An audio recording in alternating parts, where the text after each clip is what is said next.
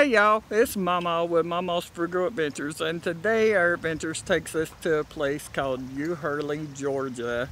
And down here there's a covered bridge and as you can see behind me, Makayla's walking across it already. And I'm going to show you some of the little sights and tell you a little bit about this place. Stay tuned. Okay, um, the way this came about was in 1886, the the county contracted with uh, William W. King, son, and freed the slaves, and the noted bridge builder, Horace King, and uh, Jonathan Burke for the construction of this 138-foot bridge. It is adjacent to the mill uh, owned by Daniel Lowry, of which the foundation is still evident. This bridge replaced several previous structures the last having been built two years prior. Construction um, in the town with the design.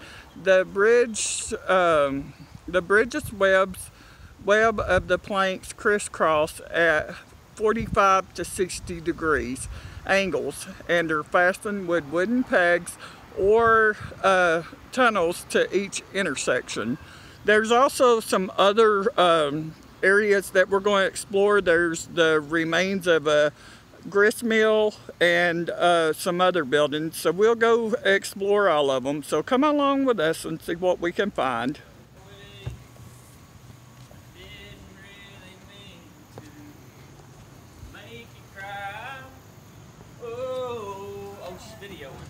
It's okay. You can keep singing. Keep going, Hayden. It's pretty awesome, actually.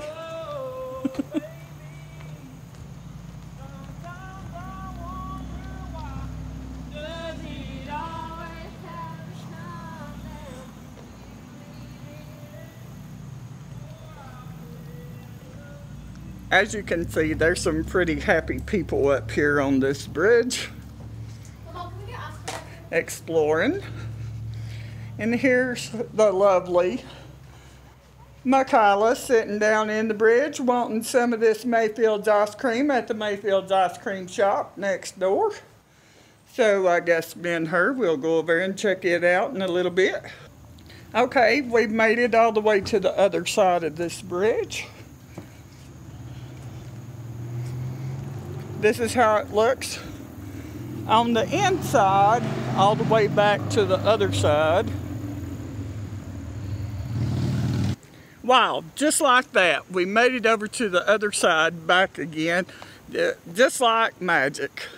Can y'all imagine though all the history that has came along from this bridge and all the horse and buggies that traveled through here and all the Model Ts and Model A's. For the people that don't know, that is my ultimate dream is to own a Model T and put it in car shows. Yeah, and it's gonna happen. Yep, just watch and see. They have picnic areas too down there by the river. Um, in case when you come, if you want a picnic and stuff, there's the old buildings. This is just such a beautiful place to come spend the afternoon at. Makayla's leaving me. She's going over to the Mayfield's ice cream shack. She's wanting some ice cream, so I better get over there and pay for her some.